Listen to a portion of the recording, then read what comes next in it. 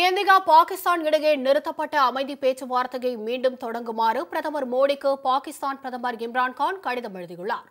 அமெரிக்காவில் இம்மாதம் நடைபெறவுள்ள ஐநா பொதுக்கூட்டத்தில் இந்தியா சார்பில் சுஷ்மா சுவராஜ் பாகிஸ்தான் சார்பில் மஹ்மூத் குரோஷியும் பங்கேற்க உள்ளனர் இந்த கூட்டத்தில் இரு நாடுகளின் வெளியுறவு அமைச்சர்கள் மட்டத்திலிருந்து பேச்சுவார்த்தை தொடங்குமாறு பாகிஸ்தான் பிரதமர் இம்ரான்கான் பிரதமர் மோடிக்கு கடிதம் மூலம் கோரிக்கை விடுத்தார்.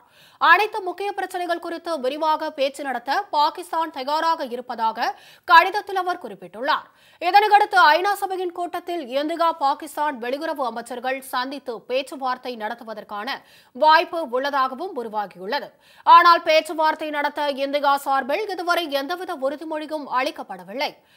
கடந்த இரண்டாயிரத்தி பதினைந்தாம் ஆண்டு பதன்கோட் விமான படைத்தளத்தில் பயங்கரவாதிகள் நடத்திய தாக்குதலை அடுத்து இந்தியா பாகிஸ்தான் இடையிலான அனைத்து உறவுகளும் துண்டிக்கப்பட்டன.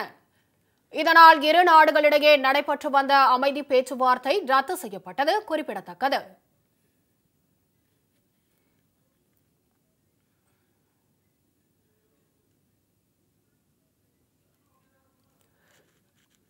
அதனால தான் நான் கேட்டேன் அடுத்தது என்னன்னு.